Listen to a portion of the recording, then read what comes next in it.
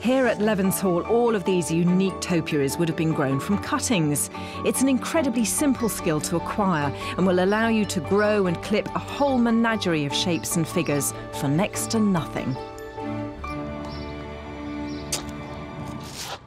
Now, if you're clipping box in sort of mid to late summer, it's also perfect time to collect cuttings for propagation. And box is incredibly forgiving, so that you just snip off some of these nice long shoots just take them a little way back into there so you've got almost a little bit of the old wood there, but otherwise they're semi-ripe. Just take those off.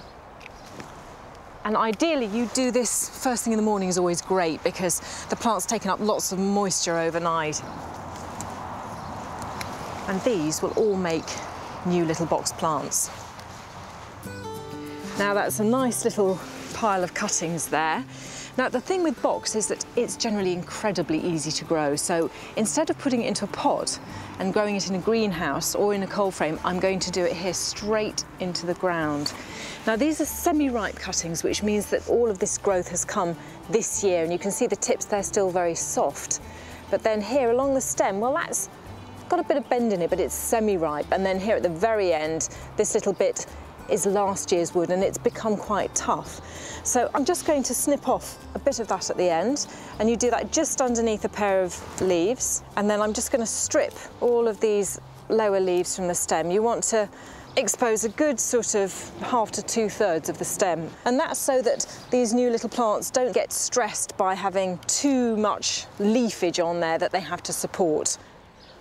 I do love this idea of getting plants for free. And I know that with something like box, you've got to wait a little while. I mean, they're not the fastest growing plant, but you'd be surprised, you know, you'll forget about them. A couple of years later think, oh my goodness, I did that and didn't pay anything for it.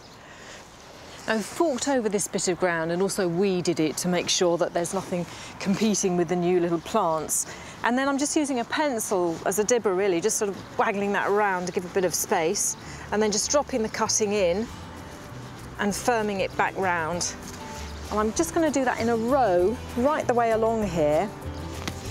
Now I'm putting these in about five or six inches apart, which is just about close enough to give a nice dense little hedge, but also if I decide to dig something up and replant it, move it somewhere else or pot it up, then I can get in there, it's enough space between them to do that. And then just make sure that they stay moist, that they don't really dry out. And my father used to say, throw a stick in the ground and it'll grow. And in the case of box cuttings, it really is true.